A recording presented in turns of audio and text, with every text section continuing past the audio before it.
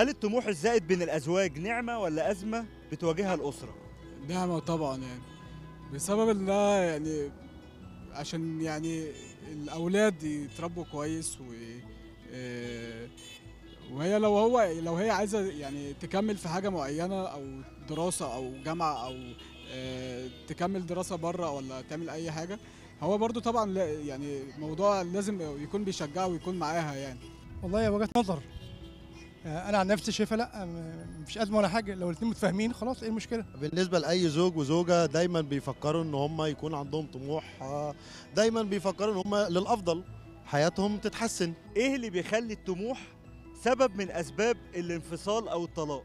طبعا الستات بتحب دايما الراجل اللي بيبقى موفر لها الحياة الزوجية الكويسة.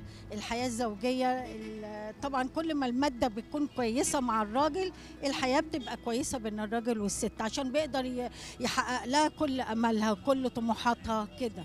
الفلوس يعني العامل المادي ده حاجة أساسية في الحياة الزوجية. لو هي حابة تكمل دراسة أو تفتح حاجة هو مش عايز أو مش عايز يساعدها ماديا أو أي حاجة زي كده هو هي هيكون- هيكون هيبقى في خلاف بينهم يعني ويحصل كده يعني. هل النجاح ده هيأثر عليها في حاجة؟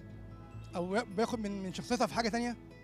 هي تقبل النجاح بتاعها ب- بالنسبة لها؟ هي المفروض يعني لكل راجل آه، ناجح آه، امرأة بتساعده. ممكن يكون بالسلب أو بالإيجاب. يعني ممكن راجل يقدر يساند زوجته ويخليها آه، تنجح أيا كان نوع طموحها.